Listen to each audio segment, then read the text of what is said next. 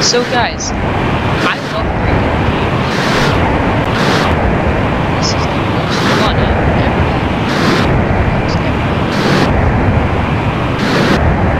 What do you guys think? Right now we're just flying.